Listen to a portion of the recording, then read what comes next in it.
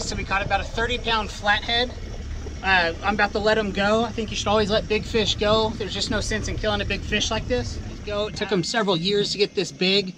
Uh, some estimates say that this fish that's almost 30 pounds is something like uh, 12 to 15 years old. Uh, it's just not worth killing something like this. You're not starving, let these big fish go.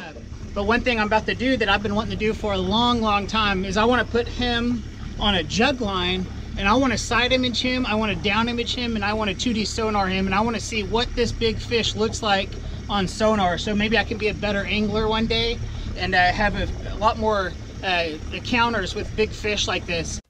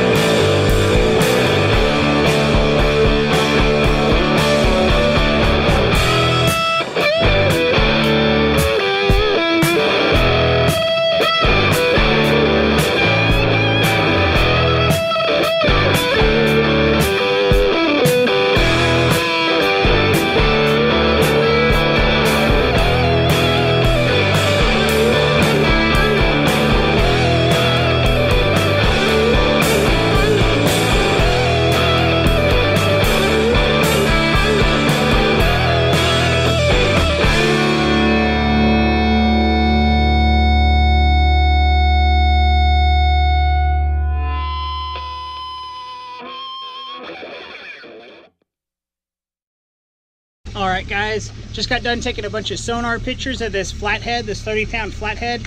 And uh, now it's time to let him go back and get bigger. Let's let him break the lake record. Currently the lake record is 65 pounds. So you can imagine that's uh, twice as big as this fish.